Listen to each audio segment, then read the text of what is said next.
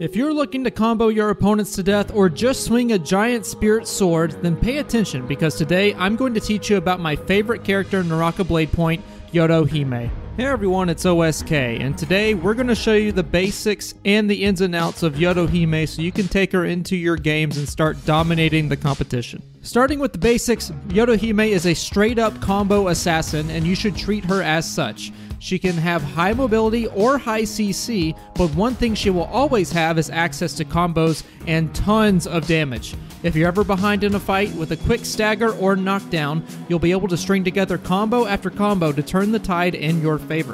Yoto Hime's main skill is called Spirit Slash, which lets her throw out a Spirit Sword, which deals damage to enemies it hits and recharges if you slay an enemy with the ability. As with all characters, it comes in three forms the starting skill is my personal favorite, and this lets you toss out your spirit sword and blink back to it for a blue focus uppercut.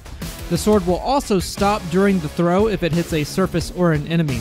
The second version of the skill lets Yoto Hime throw out her spirit sword and makes it return with an extra slash as she grabs it, useful for extra damage. And finally, her third version lets her slowly toss out a spirit sword that rotates very slowly and lingers in the area and this will block all basic attacks and stagger enemies. This can let Yoto get a quick combo off or even heal inside the sword.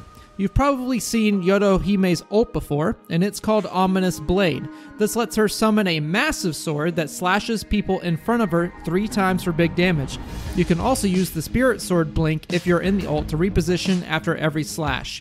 The basic Ominous Blade lets her do the regular 3 slashes with extra damage if there are nearby enemy cairns, great for trios especially. The second version allows her to heal health and armor from nearby cairns with a bit of reduced damage for each slash. And finally, the third version is my personal favorite. This lets Yoto Hime slash an extra 3 times with her Ominous Blade more quickly for some extra damage. This one is my preferred choice, especially for solos. In terms of weapons, Yoto Hime really likes the spear and dagger in the current patch. Both of these weapons have their own strengths, but they also really help with Yoto's combos in combination with her basic skills that I'll get into later. The spear is a really great spacing tool that Yoto can combo with both her regular Spirit Slash and slower Spirit Slash for extra combos and Dragon Slayers. It pairs with her very well.